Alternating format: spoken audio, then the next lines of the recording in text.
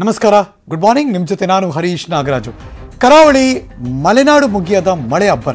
ಉತ್ತರದಲ್ಲಿ ಮಳೆ ಕ್ಷೀಣ, ಕಡಿಮೆಯಾಗದ ಪ್ರವಾಹ. ಊರಿಗೆ ಬರ್ತಾ ಇವೆ ಮೊಸಳೆಗಳು. ನ್ಯೂಸ್ ಏಟಿನ ಗ್ರೌಂಡ್ ರಿಪೋರ್ಟ್ ಈ ಹೊತ್ತಿನ ನ್ಯೂಸ್ ಹನ್ನೊಂದನೇ ದಿವಸದ ವರ್ಣಾರ್ಭಟ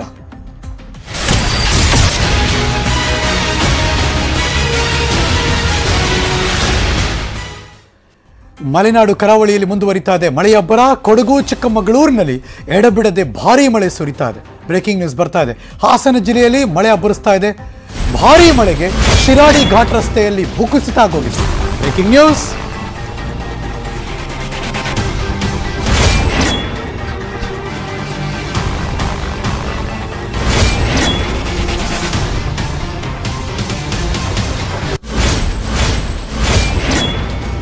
ಮಲೆನಾಡು ಕರಾವಳಿ ಭಾಗದಲ್ಲಿ ಮುಂದುವರಿತಾ ಇದೆ. ಅಬ್ಬರ, ಮಳೆಯಬ್ಬರ. ಕೊಡಗು, ಚಿಕ್ಕಮಗಳೂರಿನಲ್ಲಿ ಕೂಡ ಮಳೆ ಬರ್ತಾನೆ ಇದೆ ಕಂಟಿನ್ಯೂಸ್ ಆಗಿ. ಹಾಸನ ಜಿಲ್ಲೆಯಲ್ಲಿ ಕೂಡ ಮಳೆ ಮುಂದುವರಿಸಿ ಮುಂದುವರಿಕೆ ಆಗ್ತಾ ಇದೆ. ಭಾರಿ ಮಳೆಗೆ ಶಿರಾಡಿ ಘಾಟ್ ರಸ್ತೆಯಲ್ಲಿ ಭೂಕುಸಿತ ಆಯಿತು. ಸಕಲೇಶ್ಪುರ, ದೋಣಿಗಾಲ್ ಹತ್ರ ರಸ್ತೆ ಕುಸಿದಿದೆ. ಶಿರಾಡಿ ಘಾಟ್ ರಸ್ತೆಯಲ್ಲಿ ಸಂಚಾರವನ್ನು ಈ ಕ್ಷಣಕ್ಕೆ ಸಂಪೂರ್ಣವಾಗಿ ಬಂದ್ ಮಾಡಲಾಗಿದೆ. ಭಾರಿ ಮಳೆಯಿಂದ ದುರಸ್ತಿ ಕಾರ್ಯ ನಡೀತಾ ಇತ್ತು. ಅದನ್ನು ಕೂಡ ನಿಲ್ಲಿಸಬೇಕಾದಂಥ ಪರಿಸ್ಥಿತಿ. ಹಾಸನ, ಸಕಲೇಶ್ಪುರದಲ್ಲಿ ಅನ್ಯ ಮಾರ್ಗ ಬಳಕೆಗೆ ಸೂಚನೆ ಕೊಡಲಾಗಿದೆ. ಹಾಗಾಗಿ ನೀವು ಪ್ಲ್ಯಾನ್ ಹಾಕ್ಕೊಂಡು ಇಷ್ಟೇ ಟೈಮ್ಗೆ ಹೋಗ್ತೀವಿ ಅಂದ್ರೆ ಆಗಲ್ಲ. ಬಿಕಾಸ್ ಎಲ್ಲರೂ ಕೂಡ ಆಲ್ಟರ್ನೇಟಿವ್ ರೂಟ್ ತಗೋತಾ ಇದ್ದಾರೆ. ಹೆವಿ ಟ್ರಾಫಿಕ್ ಜಾಮ್ ಇದೆ. ಹುಷಾರಾಗೋದು ಈ ಕ್ಷಣಕ್ಕೆ ಶಿರಾಡಿ ಘಾಟ್ ಸಂಪೂರ್ಣ ಬಂದ್.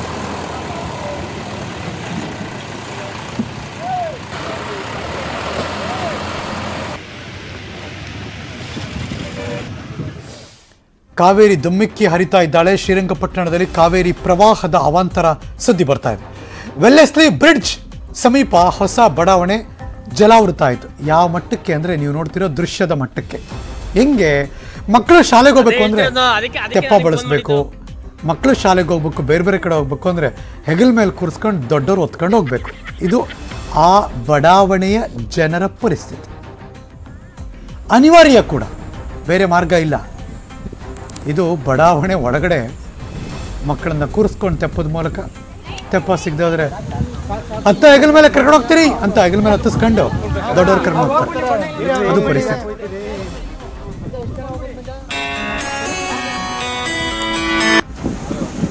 ಮೂರು ದಿನದಿಂದ ಇಲ್ಲಿ ಫುಲ್ ನೀರು ತುಂಬ್ಕೊಂಡ್ಬಿಟ್ಟು ಫುಲ್ ಸಮಸ್ಯೆ ಆಗ್ಬಿಟ್ಟೈತೆ ಮನೆಗಳೆಲ್ಲ ಓಡಾಡಕ್ ಆಯ್ತಲ್ಲ?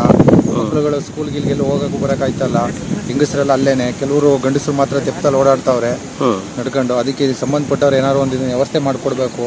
ಟೋಟಲ್ ಒಂದು ಹದಿನೈದು ಮನೆ ಐತೆ. ಹದಿನೈದು ಮನೆ. ಆ, ಇನ್ ಮಿಕ್ಕಿದ ಕೆಲಸಗಳು ನಡೀತಾವೆ. ಎಲ್ರಿಗೂ ಪ್ರಾಬ್ಲಮ್ ಆಗೈತೆ. ಹೊರಡಕ್ಕೆ ನೀರು ತುಂಬಾ ತುಂಬ್ಕೊಂಡ್ಬಿಟ್ಟಿದೆ ಹೋಗಕ್ಕಾಗಲ್ಲ. ಅಲ್ಲಿ ಇಪ್ಪತ್ತಡಿ ಆಳ ಐತೆ. ಹೋಗಿ ಏನಾರ ಅಲ್ಲಿ ಬಿದ್ದಿದ್ರೆ ನಮ್ಮ ಸಾವಿಗೆ ಯಾರು ರಾಯಚೂರಿನಲ್ಲಿ ಕೃಷ್ಣಾ ನದಿಯಲ್ಲಿ ಪ್ರವಾಹ ಹೆಚ್ಚಾಗ್ತಾ ಇದೆ. ಜೊತೆಗೆ ಮೊಸಳೆ ಹಾವುಗಳ ಕಾಟ ಬೇರೆ. ಸೇತುವೆ ಮೇಲೆ ಓಡಾಡ್ತಾ ಇವೆ ಮೊಸಳೆಗಳು. ನದಿ ತೀರದ ಕಾಡ್ಲೂರು ಗುರ್ಜಾಪುರ ಅರಿಶಿಣಗಿ ಅರಶಿಣಗಿ ಗ್ರಾಮಗಳಲ್ಲಿ ಮೊಸಳೆ ಭೀತಿ ಕೂಡ. ಅಂದ್ರೆ ಗದ್ದೆ ಗಿದ್ದೆಗೆ ಹೋಗ್ಬೇಕು ತೋಟಕ್ಕೆ ಹೋಗ್ಬೇಕು ಅಂದ್ರೆ ಅದು ಕಷ್ಟ. ಅಲ್ಲೋಗ್ಬಿಟ್ಟು ಈ ಮೊಸಳೆ ಬಂದ್ಬಿಟ್ರೆ ಎಲ್ಲಿ ಬೇಕಾದ್ರೂ ಓಡಾಡ್ತಾ ಇದೆಯಂತೆ. ರಾತ್ರಿ ಹೊತ್ತು ಬೆಳಗ್ಗೆ ಹೊತ್ತಲ್ಲ. ಜಮೀನಿಗೆ ಹೋಗೋದು ಕೂಡ ರೈತರಿಗೆ ಭಯ ಆಗ್ತಿದೆ. ದೃಶ್ಯ ನೋಡಿದ್ರೆ ಒಂದು ಕ್ಷಣ ಯಪ್ಪ ಅನ್ಸುತ್ತೆ. ಹಾ ಹಂಗಿದೆ ಪರಿಸ್ಥಿತಿ ಆ ಊರುಗಳಲ್ಲಿ.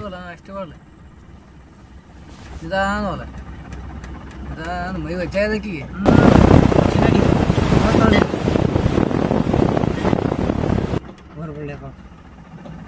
ಇದೆ ಸರ್ ಬ್ರಿಡ್ಜ್ ಮೇಲೆಲ್ಲ ತಿರುಗಾಡ್ತಾವ್ರ ಅದು ನೈಟ್ ಎಲ್ಲ.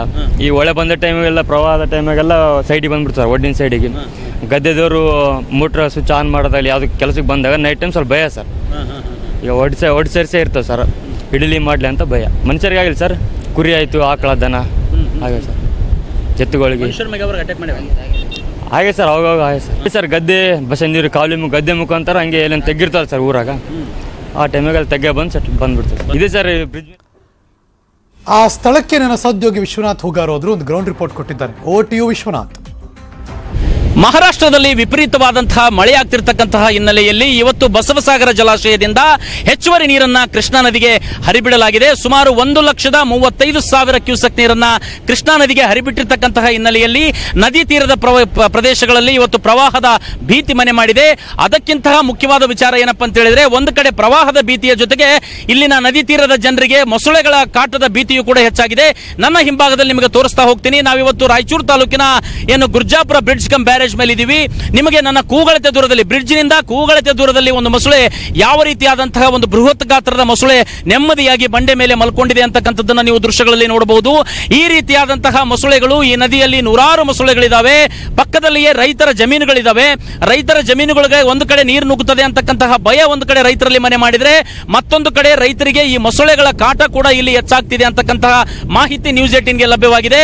ಹಾಗಾಗಿ ಇವತ್ತು ರೈತರು ತಾವು ಬೆಳೆದಂತಹ ಬೆಳೆ ನಾಶವಾಗ್ತದೆ ಅಂತಕ್ಕಂತಹ ಭಯದಲ್ಲಿ ಒಂದು ರೀತಿಯಾಗಿದ್ರೆ ಮತ್ತೊಂದು ಕಡೆ ಈ ಕಡೆ ರೈತರು ಏನಪ್ಪಾ ಅಂತ ಹೇಳಿದ್ರೆ ಈ ಮೊಸಳೆಗಳ ಹಾವಳಿಯಿಂದ ಇವತ್ತು ರೋಷ ಹೋಗಿರ್ತಕ್ಕಂಥದ್ದು. ಜೊತೆಗೆ ಜಮೀನುಗಳಲ್ಲಿ ಕಾಲಿಡೋದಕ್ಕೂ ಕೂಡ ಈ ರೈತರು ಭಯ ಪಡ್ತಾ ಇದ್ದಾರೆ.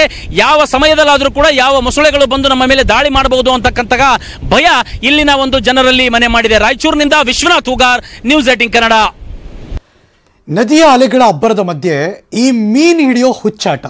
ಯಾರಿಗೋ ಏನೋ ಚಿಂತೆ ಆದರೆ ಇನ್ನೊಬ್ರಿಗೆ ಇನ್ನೊಂದು ಚಿಂತೆ, ಆ ಥರದ ಪರಿಸ್ಥಿತಿ.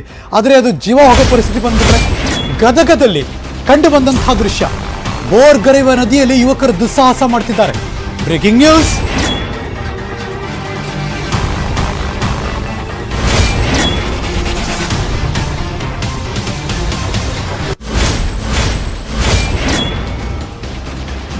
ಹಮ್ಮಿಗೆ ಬ್ಯಾರೇಜ್ನಲ್ಲಿ ಸೇಫ್ಟಿ ಇಲ್ಲದೆ ನದಿಗಿಳಿದ್ರು ಯುವಕರು.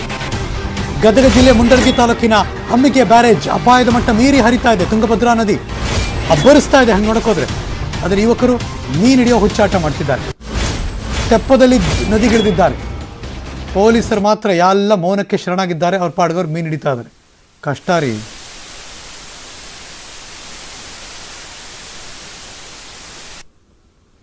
ನನ್ನ ಸಹೋದ್ಯೋಗಿ ಸಂತೋಷ್ ಕುನ್ನೂರ. ಅಲ್ಲಿನ ಪರಿಸ್ಥಿತಿ ಬಗ್ಗೆ ಗ್ರೌಂಡ್ ರಿಪೋರ್ಟ್ ಕಳಿಸ್ಕೊಟ್ಟಿದ್ದಾರೆ. Over to you Santosh. ನಿರಂತರವಾಗಿ ಸುರಿತಾ ಇರುವ ಮಳೆಯಿಂದಾಗಿ ರಾಜ್ಯದ ಬಹುತೇಕ ಡ್ಯಾಮ್ಗಳು ಕೂಡ ತುಂಬಾ ಭರ್ತಿಯಾಗಿರುವಂಥದ್ದು. ನಾವು ಸದ್ಯ ಗದಗ ಜಿಲ್ಲೆಯ ಮುಂಡರ್ಗಿ ತಾಲೂಕಿನ ಹಮಗಿ ಬ್ಯಾರೇಜ್ ಬಳಿ ಇದ್ದೀವಿ. ಹಮಗಿ ಬ್ಯಾರೇಜ್ ಸಹ ಭರ್ತಿಯಾಗಿರುವಂಥದ್ದು. ಭರ್ತಿಯಾಗಿ ಒಂದು ಲಕ್ಷಕ್ಕೂ ಅಧಿಕ ಕ್ಯೂಸಕ್ ನೀರನ್ನು ತುಂಗಭದ್ರಾ ನದಿಯಿಂದ ಹೊರಬಿಡಲಾಗಿದೆ. ನಾವು ಸದ್ಯ ಹಮಗಿ ಬ್ಯಾರೇಜ್ ಬಳಿ ಇದ್ದೀವಿ. ನಮ್ಮ ಬಲಭಾಗದಲ್ಲಿ ನೋಡ್ತಾ ಇರಬಹುದು ತುಂಗಭದ್ರಾ ನದಿಯು ಕೂಡ ಭೋರ್ಗೇರ್ತಾ ಇದೆ. ಅಷ್ಟೊಂದು ಪ್ರಮಾಣದಲ್ಲಿ ಈಗ ನೀರು ಉಕ್ಕಿ ಹರಿತಾ ಇರುವಂಥದ್ದು. ದೃಶ್ಯಾವಳಿ ಸಹ ನೋಡ್ತಾ ಇರಬಹುದು ಇದು ಹಮಗಿ ಬ್ಯಾರೇಜು. ಈ ಹಮಗಿ ಬ್ಯಾರೇಜ್ನಲ್ಲಿ ಸುಮಾರು ಇಪ್ಪತ್ತಾರು ಗೇಟ್ಗಳಿವೆ. ಇಪ್ಪತ್ತಾರು ಗೇಟ್ಗಳ ಪೈಕಿ ಈಗ ಇಪ್ಪತ್ತೆರಡು ಗೇಟ್ಗಳಲ್ಲಿ ಸುಮಾರು ಒಂದು ಲಕ್ಷ ಹತ್ತು ಸಾವಿರಕ್ಕೂ ಹೆಚ್ಚು ಕ್ಯೂಸೆಕ್ಸ್ ನೀರನ್ನು ನದಿಗೆ ಬಿಡಲಾಗ್ತದೆ. ಇಂಥ ನದಿಯಲ್ಲಿ ಬಿಡ್ತಕ್ಕಂಥ ನೀರಿನಲ್ಲಿಯೂ ಸಹ ಕೆಲವೊಬ್ಬರು ಏನು ನದಿಯಲ್ಲಿ ಮೀನು ಹಿಡಿಯುವಂಥ ಕೆಲಸವನ್ನು ಮಾಡ್ತಾ ಇದ್ದಾರೆ. ನಾವು ದೃಶ್ಯಾವಳಿಯಲ್ಲಿ ಸಹ ನೋಡ್ತಾ ಇರ್ಬೋದು, ಈ ಒಂದು ನದಿಯ ದಡದಲ್ಲಿ ತೆಪ್ಪದ ಮೂಲಕ ಕೆಲವೊಬ್ಬರು ಬಂದು ಮೀನನ್ನು ಹಿಡಿತಾ ಇದ್ದಾರೆ. ಆದರೆ ಇದು ಅಪಾಯ ಮಟ್ಟದಲ್ಲಿ ಇರ್ತಕ್ಕಂಥ ನದಿಯಾಗಿರೋದ್ರೂ ಸಹ ಕೆಲವರು ತಮ್ಮ, ಏನು ಬೇಜವಾಬ್ದಾರಿತನದಿಂದ ಇಲ್ಲಿ ಮೀನನ್ನು ಹಿಡಿಯಲು ಸಹ ಸಾಕಷ್ಟು ಜನರು ಹೋಗ್ತಾ ಇರುವಂಥದ್ದು ಸದ್ಯ ನಾವು ದೃಶ್ಯಾವಳಿಯಲ್ಲಿ ಸಹ ನೋಡ್ತಾ ಇರ್ಬೋದು.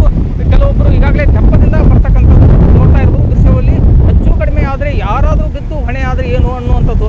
ಇಲ್ಲಿ ಯಾವುದೇ ರೀತಿ ಪೊಲೀಸ್ ಪ್ರೊಟೆಕ್ಷನ್ ಸಹ ಇಲ್ಲ. ಯಾವುದೇ ರೀತಿ ಇಲ್ಲಿ ನೀರಾವರಿ ಇಲಾಖೆ ಅಧಿಕಾರಿಗಳು ಸಹ ಇಲ್ಲ. ಯಾರು ಕೂಡ ಇಲ್ಲಿ ಇಳಿಬಾರ್ದು ಅಂತ ಸಾಕಷ್ಟು ಹೇಳಿದ್ರು ಸಹ ಯಾರು ಕೇಳ್ತಾ ಇಲ್ಲ ಈ ತೆಪ್ಪದಲ್ಲಿ ನೋಡ್ತಾ ಇರ್ಬೋದು ಇಬ್ಬರು ಅಂದ್ರೆ ಒಂದು ತೆಪ್ಪದಲ್ಲಿ ಇಬ್ಬರು ಇನ್ನೊಂದು ತೆಪ್ಪದಲ್ಲಿ ಇಬ್ಬರು ಇದ್ದಾರೆ ಅದರಲ್ಲೂ ದೃಶ್ಯಾವಳಿ ಸಹ ನೋಡ್ಬೋದು ನೋಡ್ತಾ ಇರ್ಬೋದು ಯಾವ ರೀತಿ ನದಿ ಇಷ್ಟೆಲ್ಲ ಹೊರಗತ್ತಾ ಇದ್ರು ಸಹ ಸಹ ಮೂರು ತೆಪ್ಪಗಳಿದಾವೆ ಮೂರು ತೆಪ್ಪಗಳಲ್ಲಿ ಮೂಲಕ ಬಂದು ಏನು ಆ, ಮೀನನ್ನು ಹಿಡಿತಾ ಇದ್ದಾರೆ ಹೆಚ್ಚು ಕಡಿಮೆ ಆಗಿ ಬಿದ್ದರು ಯಾರು ಹೊಣೆ ಎಂಬುದು ಮಾತ್ರ ಇಲ್ಲಿ ತಿಳಿತಾ ಇಲ್ಲ. ಸದ್ಯ ಇಷ್ಟೊಂದು ಸಮಸ್ಯೆಗಳಿದ್ದರೂ ಸಹ ಇಲ್ಲಿ ಯಾವುದೇ ರೀತಿ ಪೊಲೀಸ್ ಸಿಬ್ಬಂದಿಗಳನ್ನು ನಿಯೋಜನೆ ಮಾಡದಿರುವುದು ದುರ್ದೈವದ ಸಂಗತಿ ಅನ್ನಬಹುದು ಇನ್ನು ಈ ತುಂಗಭದ್ರಾ ನದಿಯ ತಟದಲ್ಲಿ ಇರತಕ್ಕಂಥ ಕೆಲವು ಪ್ರದೇಶದಲ್ಲಿ ಭತ್ತವನ್ನು ಬೆಳೀತಾರೆ. ಭತ್ತದ ಬೆಳೆಯು ಸಹ ಈ ಒಂದು ನದಿಯ ಪ್ರವಾಹಕ್ಕೆ ಹಾನಿಯಾಗಿದೆ ಅನ್ನುವಂಥ ಮಾತನ್ನ ರೈತರು ಸಹ ಹೇಳ್ತಾ ಇದ್ದಾರೆ.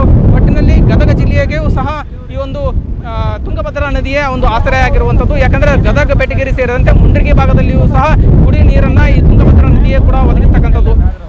ಗದಗ ಜಿಲ್ಲೆಯಲ್ಲಿ ಈಗಾಗಲೇ ತುಂಗಭದ್ರಾ ನದಿ ತುಂಬಾನೇ ಅಪಾಯ ಮಟ್ಟದಲ್ಲಿ ಕೂಡ ಹರಿತಾ ಇದೆ. ಅದು ನದಿಯ ತಟದಲ್ಲಿರ್ತಕ್ಕಂಥ ಕೆಲವು ಗ್ರಾಮಗಳಿಗೆ ಒಂದು ಆತಂಕ ಕೂಡ ಸೃಷ್ಟಿಯಾಗಿರುವಂಥದ್ದು. ತುಂಗಭದ್ರಾ ನದಿಗೆ ಇಳಿದಿರ್ತಕ್ಕಂಥ ಹೇಳ್ತಾ ಕಠಿಣ ಕ್ರಮವನ್ನು ತಗೋಬೇಕಾಗಿತ್ತು. ಆದರೆ ಯಾವುದೇ ರೀತಿ ಮುಂಜಾಗ್ರತಾ ಕ್ರಮ, ಕ್ರ- ಏನು ತಗದೇ ಇರೋದ್ರ ಹಿನ್ನೆಲೆಯಲ್ಲಿ ಸಾಕಷ್ಟು ತೊಂದರೆ ಆಗ್ತಾ ಇದೆ ಅಂತ ಹೇಳ್ಬೋದು. Santosh Kondur news eighteen Kannada, Gadag. ಇನ್ನು ಕೊಡಗು ಭಾಗದಲ್ಲಿ ಮಳೆ ಕಡಿಮೆ ಆಯಿತು, ಆದರೆ ಪ್ರವಾಹ ಮಾತ್ರ ನಿಂತಿಲ್ಲ. ವಿರಾಜಪೇಟೆ ತಾಲೂಕಿನ ಭೇತ್ರಿಯಲ್ಲಿ ಹತ್ತಾರು ಎಕರೆ ತೋಟ ಗದ್ದೆಗಳು ಸಂಪೂರ್ಣ ಜಲಾವೃತ ಆಗಿದೆ ತೋಟದಲ್ಲಿ ಏಳರಿಂದ ಎಂಟು ಅಡಿ ಪ್ರವಾಹದ ನೀರು ನಿಂತಿದೆ. ಅಯ್ಯೋ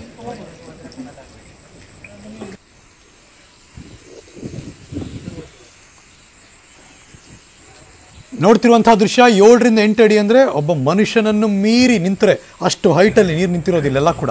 ನನ್ನ ಸದ್ಯೋಗಿ ರವಿ ಅಲ್ಲಿ ಹೋಗಿ ಒಂದು ಪ್ರತ್ಯಕ್ಷ ವರದಿ ಕೊಟ್ಟಿದ್ದಾರೆ. ಓ ರವಿ. ಕೊಡಗಿನಲ್ಲಿ ನಿನ್ನೆಯಿಂದ ಒಂದಷ್ಟು ಮಳೆಯ ಪ್ರಮಾಣ ತಗ್ಗಿದೆ. ಆದರೆ ಮಳೆ ಕಡಿಮೆ ಆದರೂ ಕೂಡ ಅದರಿಂದ ಆದಂತಹ ಅವಾಂತರಗಳು ಮಾತ್ರ ಇನ್ನಷ್ಟು ಮುಂದುವರೆದಿದೆ ಅಂತಲೇ ಹೇಳ್ಬೋದು. ಸೊ ನಾನೀಗ ವಿರಾಜಪೇಟೆ ತಾಲೂಕಿನ ಬೇತ್ರಿ ಏನಿದೆ, ಬೇತ್ರಿಯ ಸಮೀಪದಲ್ಲಿದ್ದೇನೆ. ಏನು ಕಾವೇರಿ ನದಿ ಉಕ್ಕಿ ಅರಿಯಿತು ಅದರ ಪರಿಣಾಮವಾಗಿ ಸಾಕಷ್ಟು ಕೊಲ್ಲಿಯ ಪ್ರದೇಶಗಳಲ್ಲಿ, ತಗ್ಗು ಪ್ರದೇಶಗಳಿಗೆ ಕಾವೇರಿಯ ಪ್ರವಾಹದ ನೀರು ಸಂಪೂರ್ಣವಾಗಿ ನುಗ್ಗಿದೆ. ಸೊ ಹಾಗಾಗಿ ಇಡೀ ಹೊಲ ಗದ್ದೆಗಳು, ತೋಟಗಳು ಸಂಪೂರ್ಣವಾಗಿ ಜಲವೃತವಾಗಿದ್ದಾವೆ. ನೋಡ್ಬೋದು ನೀವು ಬೇತ್ರಿ ಸಮೀಪದಲ್ಲಿರುವಂತಹ ಈ ಒಂದು ಅಡಿಕೆ ತೋಟದಲ್ಲಿ ಎಷ್ಟೊಂದು ದೊಡ್ಡ ಪ್ರಮಾಣದಲ್ಲಿ ಕಾವೇರಿಯ ಪ್ರವಾಹದ ನೀರು ನುಗ್ಗಿದೆ, ನಿಂತಿದೆ ಅನ್ನೋಂಥದ್ದು ನಿಮಗೆ ಸ್ಪಷ್ಟವಾಗಿ ಕಾಣುತ್ತೆ. ಬರೋಬ್ಬರಿ ತೋಟದಲ್ಲಿ ಒಂದು ಏಳರಿಂದ ಎಂಟು ಅಡಿಯಷ್ಟು ಎತ್ತರದಕ್ಕೆ ಈ ಕಾವೇರಿ ಪ್ರವಾಹದ ನೀರು ನಿಂತಿದೆ. ಸೊ ಸಣ್ಣ ಸಣ್ಣ ಗಿಡಗಳೇನಿದೆ ಅಡಿಕೆ ಗಿಡಗಳು, ಅವೆಲ್ಲವೂ ಕೂಡ ಮುಳುಗಡೆ ಆಗಿದ್ದಾವೆ, ಸಂಪೂರ್ಣ ಮುಳುಗೋಗಿದ್ದಾವೆ. ಏನು ಕೂಡ ಕಾಣಿಸದಷ್ಟು ಮಟ್ಟಿಗೆ ಮುಳುಗೋಗಿದ್ದೇವೆ. ದೊಡ್ಡ ದೊಡ್ಡ ಮರಗಳು ಮಾತ್ರನೇ ಅವು ಕೂಡ ಒಂದು ಅರ್ಧ ಭಾಗದಷ್ಟು ಅಡಿಕೆ ಮರಗಳು ಕೂಡ ಮುಳುಗಡೆ ಆಗಿರುವಂಥದ್ದು ಕಾಣುತ್ತೆ. ಸೊ ನೀವು ನೋಡ್ಬೋದು, ಏನು ಈ ಬೆಳೆ ಈ ಈ ರೀತಿಯಾಗಿ ನಿಂತಿದೆ ಅಡಿಕೆ ತೋಟದೊಳಗಡೆ. ಈ ಅಡಿಕೆ ಬೆಳೆ ಸಂಪೂರ್ಣವಾಗಿ ಹಾಳಾಗುತ್ತೆ ಅನ್ನೋಂಥದ್ದು ಕೂಡ ಈಗ ರೈತರಿಗೆ ಆತಂಕ ಶುರುವಾಗಿರೋಂಥದ್ದು. ಸೊ ಹತ್ತಾರು ವರ್ಷಗಳಿಂದ ಕಷ್ಟಪಟ್ಟು ತೋಟಗಳನ್ನು ಮಾಡಿ, ಬೆಳೆಯನ್ನು ಬೆಳೆದು ಏನೋ ಏನೋ ಒಂದು ರೀತಿ ನಾವು ಆದಾಯವನ್ನು ಗಳಿಸ್ಬೋದು ಅನ್ನೋಂತಹ ಸ್ಥಿತಿಯಲ್ಲಿರುವಾಗ ಈ ರೀತಿ ಕಾವೇರಿ ತನ್ನ ಕೋಪವನ್ನು, ಪ್ರತಾಪವನ್ನು ತೋರಿದಂಥದ್ದು ಏನಿದೆ? ಇದೀಗ ಜನರಿಗೆ ಒಂದು ರೀತಿಯ ಸಂಕಷ್ಟವನ್ನು ತಂದಿಟ್ಟಿದೆ ಅಂತಲೇ ಹೇಳ್ಬೋದು. ಸೊ ಒಟ್ಟಿನಲ್ಲಿ ಕೊಡಗಿನಲ್ಲಿ ಸುರಿದಂತಹ ಮಳೆ ಏನಿದೆ? ಈ ಮಳೆ ಕೊಡಗಿನ ನದಿ ಪಾತ್ರದ ಜನರಿಗೆ ರೈತರ ಬದುಕಿಗೆ ಒಂದಷ್ಟು ಕಂಟಕವನ್ನು ತಂದಿಟ್ಟಿದೆ. ಇನ್ನು ಉಕ್ಕಿ ಹರಿತಿರುವಂತಹ ದೋದ್ ಗಂಗಾ ನದಿಗೆ ಚಾಲಕನ ನಿಯಂತ್ರಣ ತಪ್ಪಿ ಕಾರ್ ಬಿತ್ತು. ಚಿಕ್ಕೋಡಿ ತಾಲೂಕಿನ ಎಕ್ಸಂಬಾದ ನಡೆದಿರುವಂತಹ ಘಟನೆ ಕಾರ್ ಮುಳುಗೋಗಿರೋದಿದು ಅವನು ನೋಡಿ ಗ್ಲಾಸ್ ಕೇಸ್ ಹೊಡೆದು ಆ ಚಾಲಕ ಆಚೆ ಬಂದ ಪುಣ್ಯಕ್ಕೆ ಅವನು ಒಬ್ಬನೇ ಇದ್ದ. ಪುಣೆಯಿಂದ ಬೆಳಗಾವಿಗೆ ಬಂದಿತ್ತು ಈ ಬಾಡಿಗೆ ಕಾರು. ಮತ್ತೆ ವಾಪಸ್ ಹೋಗ್ತಾ ಇತ್ತು. ಇದೊಂದು ಸಾಹಸ ಕೈ ಹಾಕ್ತಾರೆ.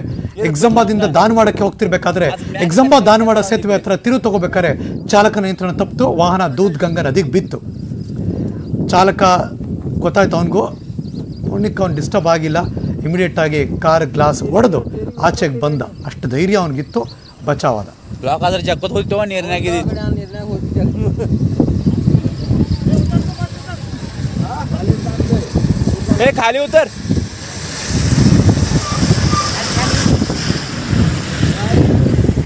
ನೀರ್ನಾಗಿದ್ದು हे खाली उतर हे इळीला उतर उतर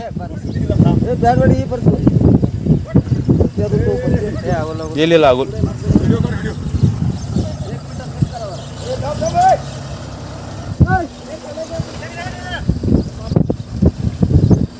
ನಿಮ್ಮಲ್ಲಿ ಕುಡಿಯಲ್ಲ ಹೊರಗೆ ಬೀಳ್ತಕ್ಕ ನೋಡಿ ಇಲ್ಲ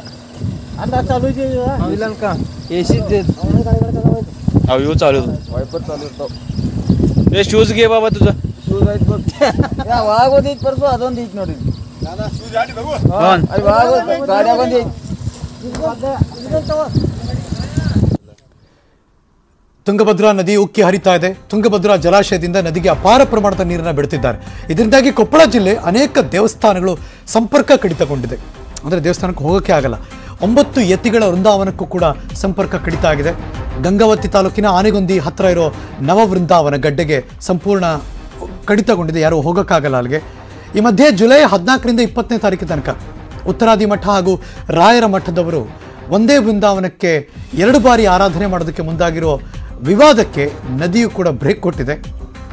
ಅಂದಹಾಗೆ ಇಲ್ಲಿರುವಂಥ ವೃಂದಾವನವನ್ನು ರಘುವರಿಯ ತೀರ್ಥ ವೃಂದಾವನ ಅಂತ ಕರೀತಾರೆ.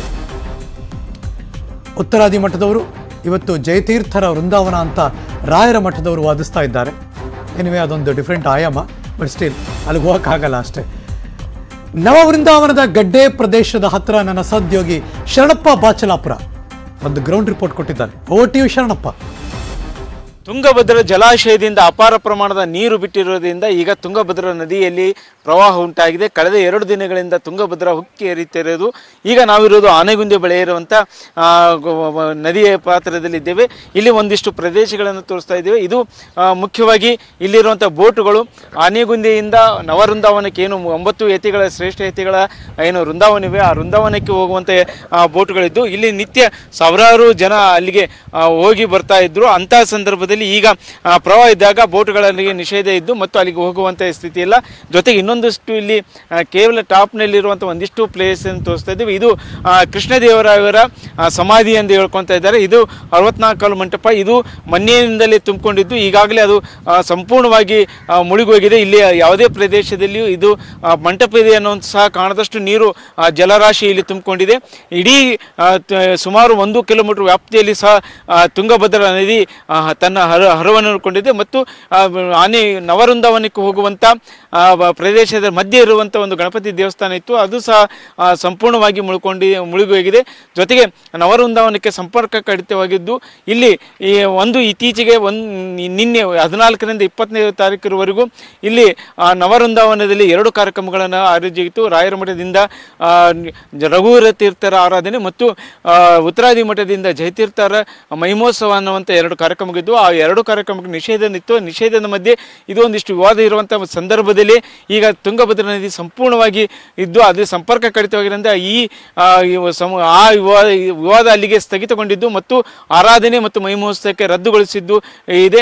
ಒಟ್ಟಾರೆ ತುಂಗಭದ್ರಾ ನದಿ ಈಗ ಉಕ್ಕಿ ಹರಿತಾ ಇದ್ದು, ಇದು ಇದೇ ರೀತಿ ಮುಂದುವರೆದರೆ ಇನ್ನೂ ಆನೆಗುಂದಿ ಮತ್ತು ನವವೃಂದಾವನದ ಹತ್ತಿರ ಹತ್ತಿರಕ್ಕೂ ಸಹ ನದಿ ನೀರು ಹರಿದುಕೊಂಡು ಬರುವಂಥ ಎಲ್ಲ ಸಾಧ್ಯತೆ ಇದೆ.